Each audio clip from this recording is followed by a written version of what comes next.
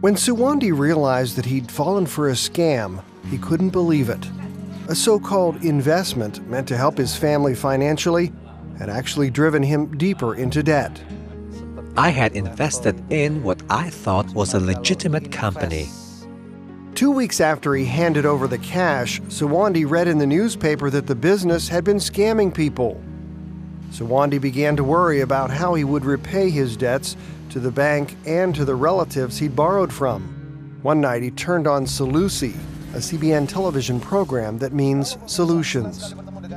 That night on Solusi was the story about a young woman who was seriously ill, but she depended on God and experienced a miracle. Although it was the first time he'd ever watched a CBN program, Suwandi decided to pray with the hosts. I prayed to Jesus Christ, to the God that Solusi mentioned in the program.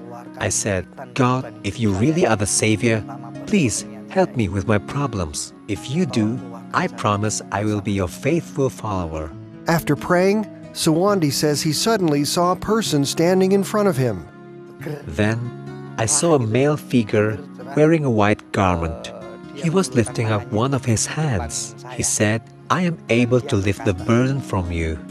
The next morning, Suwandi sent a text message to CBN sharing his experience and asking for prayer.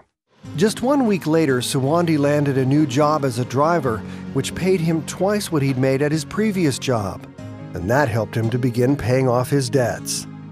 Suwandi then joined a local church, and soon his whole family was following Jesus. It was Solusi that introduced me to Jesus Christ. Everything I have become is because of God, who I got to know through CBN's Solusi.